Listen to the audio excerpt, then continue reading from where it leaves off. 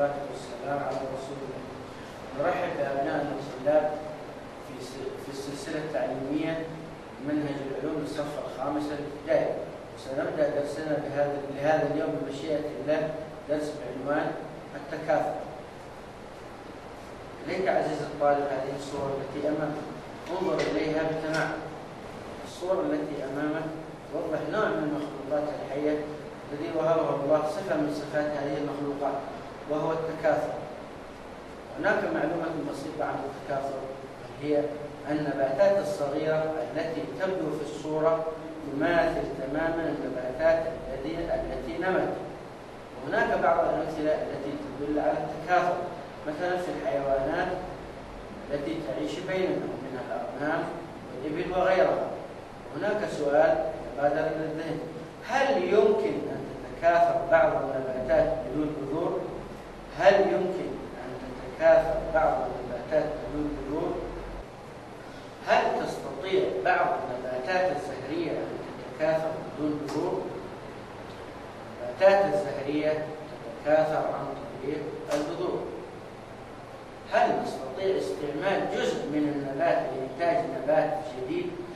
للإجابة عن هذا السؤال دعنا نقوم بالنشاط التالي للقيام بهذا النشاط نحتاج إلى الأدوات التالية.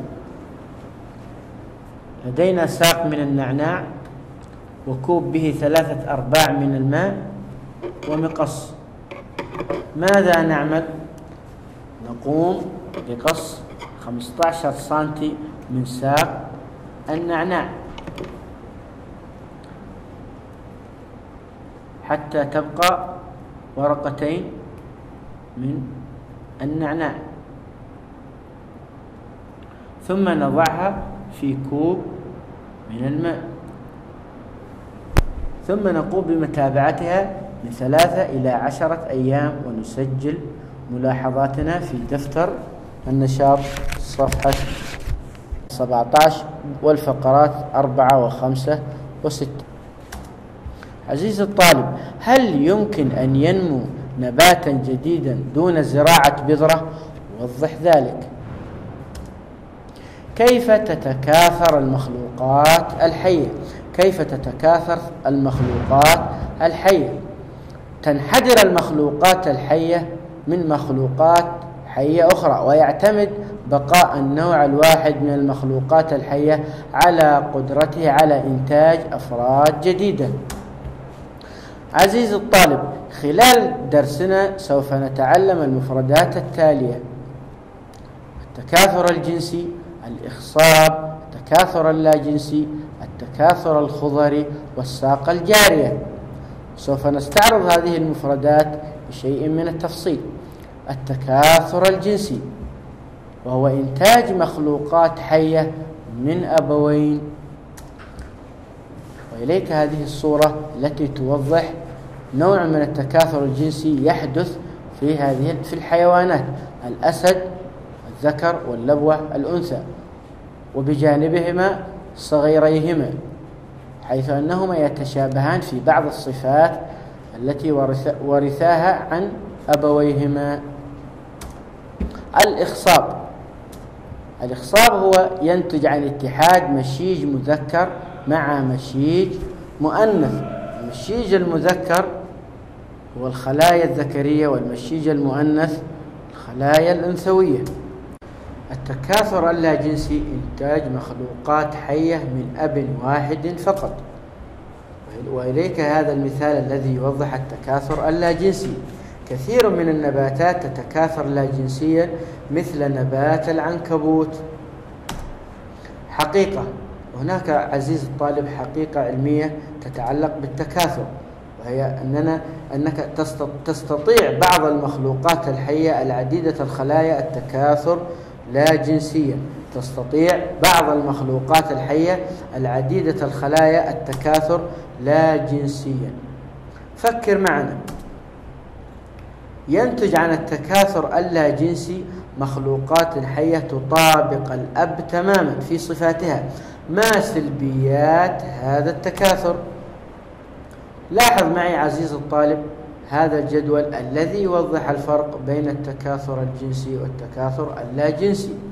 في التكاثر اللاجنسي عدد الآباء واحد وفي التكاثر الجنسي عدد الآباء اثنين.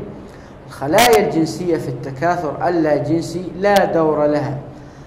أما الخلايا الجنسية في التكاثر الجنسي فلها دور أساسي في نقل الصفات الوراثية من الآباء إلى الأبناء. الأبناء في التكاثر اللاجنسي يشبهون آبائهم تماما. أما في التكاثر لا جنسي فيختلفون عن آبائهم ويأخذون بعض الصفات الوراثية منهم. هل هناك خلط في الصفات الوراثية؟ في التكاثر اللاجنسي لا يوجد خلط بين الصفات. أما في التكاثر الجنسي فيوجد خلط بين الصفات الوراثية. كيف تتكاثر المخلوقات الحية لا جنسيا؟ تتكاثر المخلوقات الحية لا جنسيا عن طريق أولا الانقسام ويحدث كما في البكتيريا حيث ينفصل تنفصل الخلية إلى خليتين متماثلتين لها الصفات الوراثية. وهذه الصورة توضح لنا التكاثر اللاجنسي عن طريق الانقسام وهي صورة مكبرة تبين انقسام البكتيريا. التبرعم النوع الآخر من التكاثر اللاجنسي حيث ينفصل جزء من المخلوق ليكون مخلوقا جديدا. وإليك هذه الصورة التي توضح التكاثر بالتبرعم وهي صورة مكبرة تبين تبرعم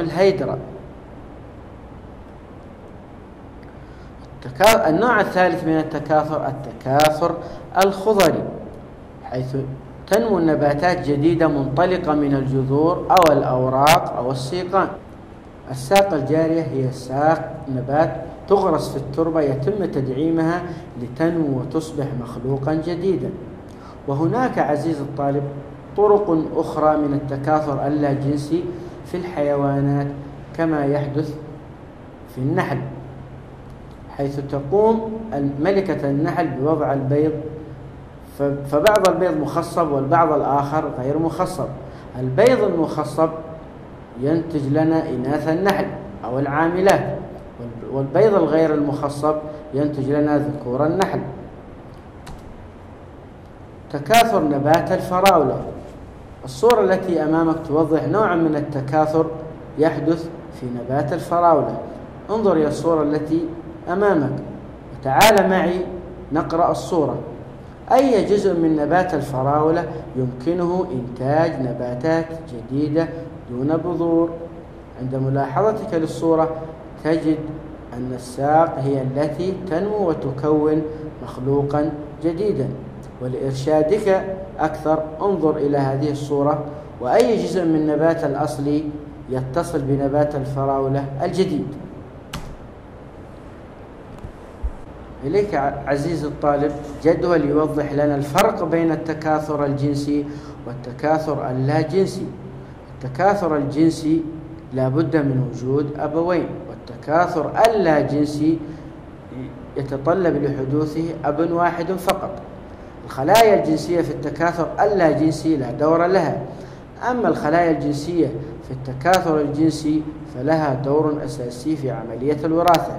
الأبناء في التكاثر اللاجنسي يشبهون آباءهم تماما. أما في التكاثر الجنسي فهم لا يشبهون آباءهم تماما. الصورة التي أمامك توضح تكاثرا لاجنسيا يحدث في الأرانب. انظر إلى الذكر والأنثى وصغارهما. هل صغار الأرانب يشبهان آباءهما تماما؟ سنلاحظ هناك اختلاف في اللون في لون في اللون وفي العين وفي الأذنين. كيف تستطيع أن تعرف أن الأرانب في الصورة ليست ناتجة عن تكاثر لاجنسي كيف تستطيع أن تعرف أن الأرانب في الصورة ليست ناتجة عن تكاثر لاجنسي وفي نهاية هذا الدرس عزيزي الطالب نلخص لك النقاط الرئيسية في الدرس نلخص الصور. تنتج المخلوقات الحية عن مخلوقات حية أخرى عن طريق عملية التكاثر. الانقسام والتبرعم والتكاثر الخضري طرق من طرق, طرق من التكاثر اللا جنسي تتكاثر بها أنواع مختلفة من المخلوقات. يتيح التكاثر الجنسي تنوع صفات المخلوقات الحية. إليك عزيزي الطالب بعض الأسئلة. التي نستطيع بها التعرف أكثر على التكاثر. تنتمي الساقة الجارية إلى نوع من التكاثر اللاجنسي يسمى. تنتمي الساقة الجارية إلى نوع من التكاثر اللاجنسي يسمى التكاثر الخضري. السؤال الثاني ماذا يحدث بعد تكون برعم على مخلوق حي؟ ماذا يحدث بعد تكون برعم على مخلوق حي.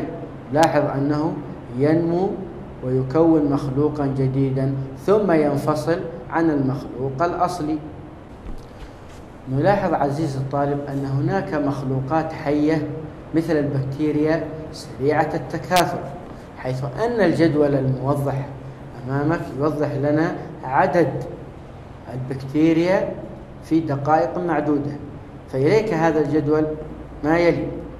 عند بداية الوقت نلاحظ أن عدد البكتيريا عشرين. وبعد عشرين دقيقة نلاحظ أن العدد هذا يتضاعف إلى أربعين. وعند أربعين دقيقة نلاحظ أن العدد يتضاعف إلى ثمانين. وستين إلى مئة وستين. وثمانون إلى ثلاثمائة وعشرين. ومئة إلى أربعمائة وستين. كم سيكون عدد البكتيريا في يوم كامل؟ بهذا نصل عزيز الطالب إلى نهاية درسنا هذا ونسأل الله العلي القدير أن يوفقنا لما يحبه ويرضاه وإلى لقاء آخر في درس جديد إن شاء الله تعالى.